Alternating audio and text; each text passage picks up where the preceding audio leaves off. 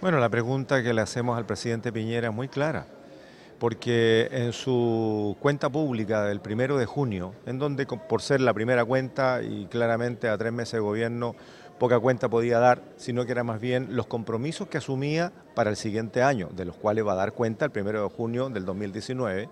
En ese momento anunció auditorías internas y externas eh, al interior de Carabineros. También anunció el, concurso por alta dirección pública de funcionarios especializados en materia financiera. Entonces, lo que estoy haciendo ahora es preguntar formalmente en nuestro, en nuestro rol fiscalizador, que es una obligación constitucional, preguntarle al presidente de la República cómo va el trámite. Pues ya tenemos ya casi dos meses de, de hecho este anuncio y le estoy preguntando por la vía formal eh, cuántas eh, licitaciones se han hecho, cuántos contratos se han hecho de auditorías externas, a qué instituciones, con qué monto, con qué alcance, con qué objetivo y por otro lado también si ya se iniciaron los concursos de alta dirección pública de esta gente especializada eh, para que maneje las finanzas de carabineros. en definitiva es solamente corroborar que lo que el presidente de la República planteó se está haciendo o no se está haciendo. Eso es lo que estamos consultando. Creo que es importante.